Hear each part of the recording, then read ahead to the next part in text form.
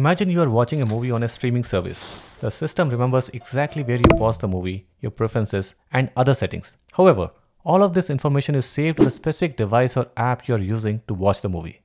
If you switch to another device, like from your TV to your phone, that new device wouldn't know where you left off. You'd have to manually find the point in the movie and reconfigure your preferences because all that information was stored only on the first device. This is similar to stateful architecture.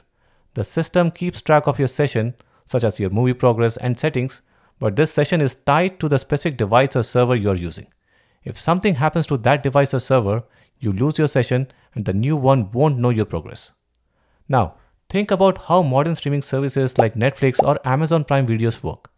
You can start watching a movie on your TV, pause it, and then later pick up right where you left off on your phone, laptop, or any other device.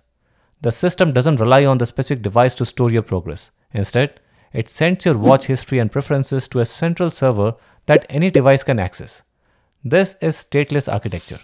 Every request you make, like playing, pausing, or switching devices, contains all the information the system needs to know, such as your account, movie progress, preferences, and so on and so forth. The system retrieves this from a shared database so any device can continue where the last one left off without needing to remember anything from the previous session.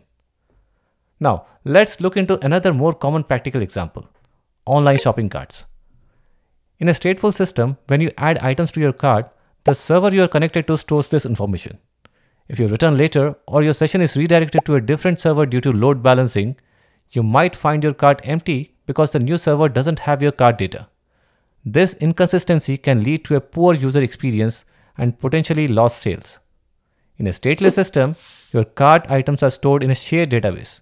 No matter which server handles your request, whether you're browsing from your phone, tablet, or computer, your cart remains consistent. This reliability enhances user satisfaction and encourages customers to complete their purchases. Another example is authentication.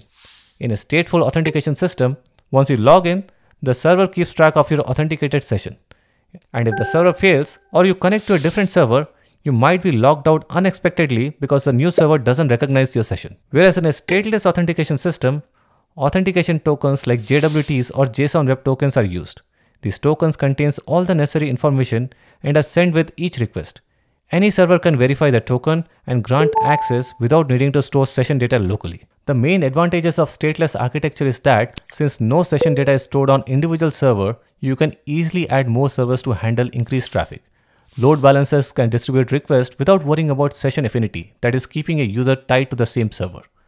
And if a server goes down, it doesn't impact user sessions because no critical session data is lost.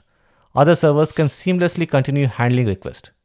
Stateless systems are generally easier to maintain. There is no need to synchronize session data between servers or manage complex state replication.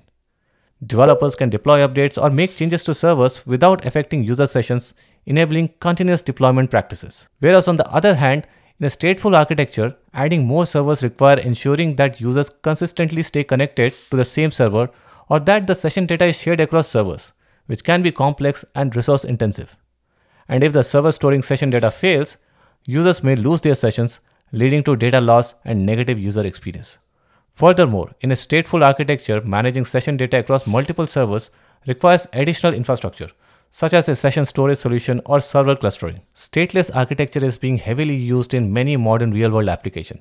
Services like Twitter and Instagram use stateless architecture to handle millions of users simultaneously.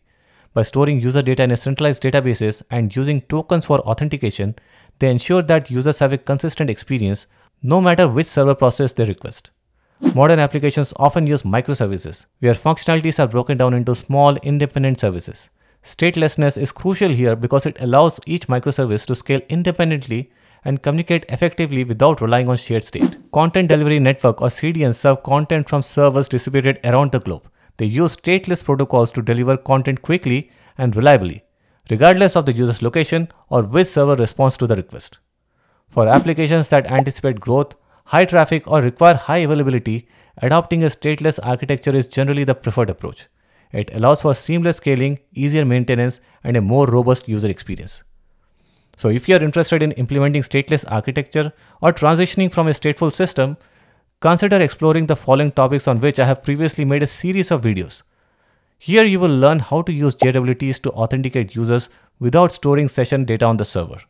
You will understand how databases and caching solutions like Redis can store session related data efficiently. You should also study how stateless principles are applied in RESTful web services and see how stateless microservices interact in a distributed system. By grasping the differences between stateful and stateless architectures, you can design systems that are more robust, scalable, and suited to the needs of modern applications.